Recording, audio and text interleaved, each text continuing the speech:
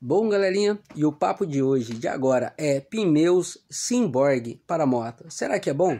Bom, galera, o que eu posso dizer pra gente, pra vocês, né, que é uma marca nova, a gente está trabalhando com ela agora já há quase um ano e nunca tivemos reclamações e problemas com esse pneu, com essa marca. Bom, e o principal diferencial e vantagem dela, o preço, galera. O preço é lá embaixo, é bem mais barato que as marcas mais tradicionais e antigas no mercado. Mostra aqui para vocês, por exemplo, o desenho desse pneu da Bros borrachudo, para uso misto, tanto terra quanto asfalto. E um precinho, galera, que você não vai encontrar na internet, nem em outro lugar e nenhuma outra marca. E agora vou mostrar também aqui para vocês, ó, o pneu Simborg para Titan, para Fan. Bom, o desenho é esses aí, ó, que vocês estão vendo, beleza?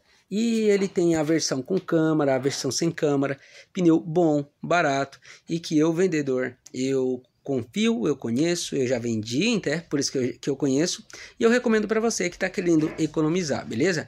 Então é um pneu bom, original de fábrica, e que a gente não tem reclamação, não tem dor de cabeça, até hoje não teve nenhum problema com eles.